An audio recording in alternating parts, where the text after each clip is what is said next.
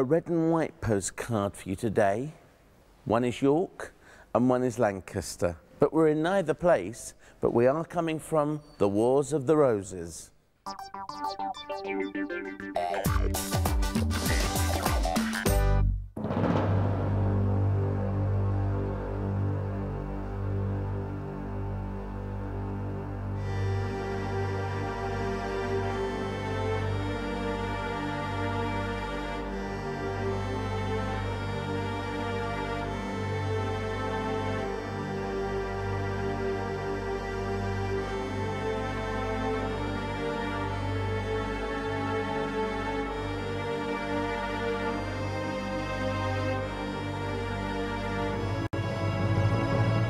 Now, Bernie, this is very soggy and boggy.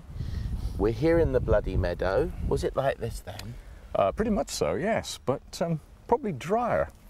Back in 1471, it was a dry season, the May of 1471, apparently, according to the man who Chronicled it? chronicled it with uh, King Edward, yes, who came in with King Edward's army. Let's tell everybody what we're on about. We're in Tewkesbury.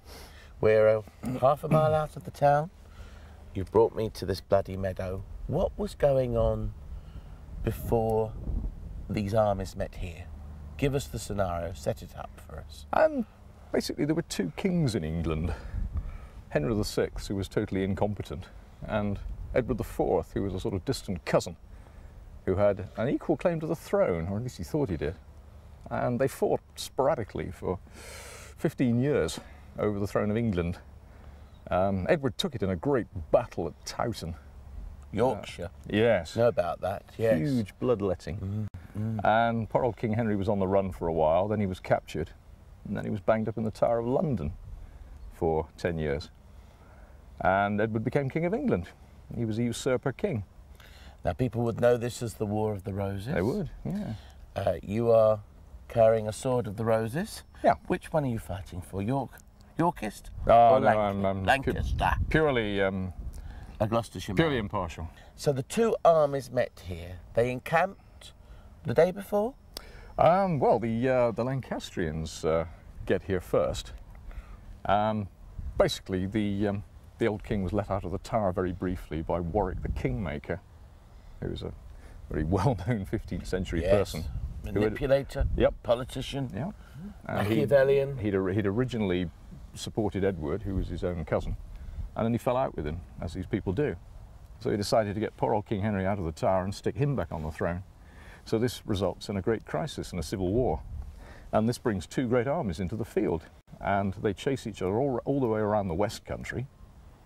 And the Lancastrians are chased to here. They wanted to get into Wales. They wanted to cross the Severn into Wales to unite with their Welsh followers, but uh, they couldn't get across the, uh, the bridge at Gloucester. So they come here. They're hoping to get a river crossing, but they run out of time.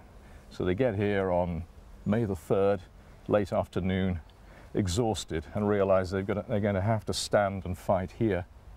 And King Edward is coming on apace. King Edward was very fast on the march. He's a very good soldier. So really their backs are to the wall here.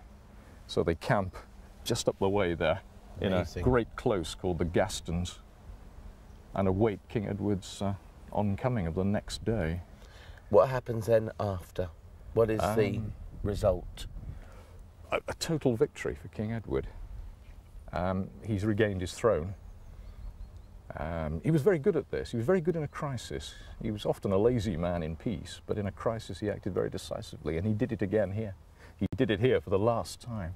So Tewkesbury then was his finale. Pretty His much. Big moment. As, was as, as a military man, as a decisive military man, this is really when he regains his throne, and from then on he's pretty well secure because the Lancastrian claimant to the throne, the young prince, poor old King Henry's 18 year old son, is dead on the field. So Edward has no, no firm com- competition anymore.